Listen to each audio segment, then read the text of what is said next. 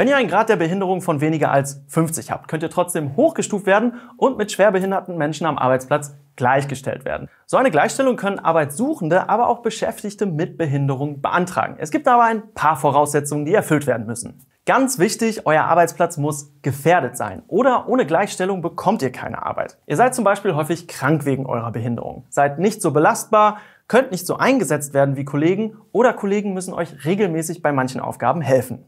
Ein anderer Grund für eine Gefährdung kann aber auch sein, dass ihr nicht so mobil seid wie andere Mitarbeiter. Es gibt aber noch mehr Voraussetzungen. Euer GDB muss mindestens 30 oder 40 betragen. Und wenn ihr schon arbeitet, dann müsst ihr das mindestens 18 Stunden pro Woche machen.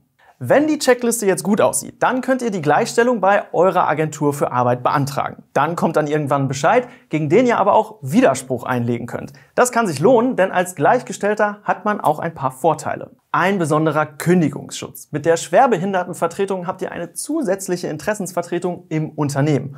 Und ihr könnt durch die Inklusions- und Integrationsämter gefördert werden. Es geht aber noch weiter. Für den Arbeitgeber gibt es nämlich auch Zuschüsse und es ist auch ein Beschäftigungsanreiz, weil Gleichgestellte bei der Ausgleichsabgabe angerechnet werden. Es gibt aber auch ein paar Dinge, auf die ihr trotz Gleichstellung keinen Anspruch habt. Beispielsweise gibt es keinen Zusatzurlaub. Ihr habt keinen Anspruch auf unentgeltlichen Nahverkehr und es gibt auch keine vorgezogene Altersrente. Und einen Schwerbehindertenausweis bekommt ihr auch nicht.